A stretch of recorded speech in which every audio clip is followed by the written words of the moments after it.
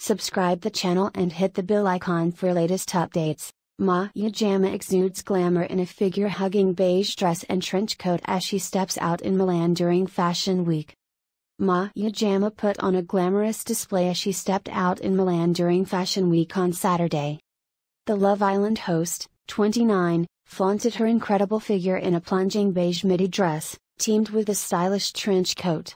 She elevated her height in strappy heels, while accessorizing with dainty gold jewelry and a leopard print clutch bag. Maya is the ultimate jet setter at the moment as she hit Milan after spending less than 24 hours in the UK, following her return from South Africa. Maya has just wrapped up the All Stars version of the ITV reality show and was seemingly headed back home to London. However, it was just a brief stop off before she hopped on another flight to catch the Milan Fashion Week shows. Making the most of her time in the Italian capital, she stunned in a semi-sheer cutout dress after changing out of a silver jumpsuit to attend two shows.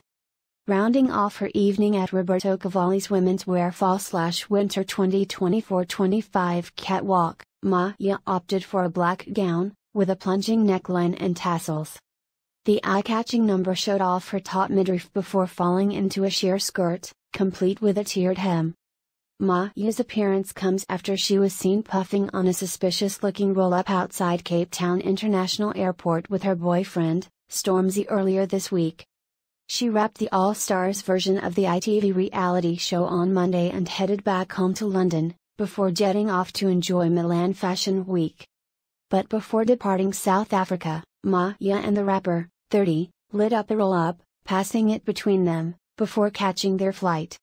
An onlooker told The Sun, Maya and Stormzy had a smoke before checking into their flight for London. It didn't seem like Maya was used to smoking because she started coughing as Stormzy puffed away next to her. They added, they seemed really in love and were laughing and holding hands as they walked through the airport.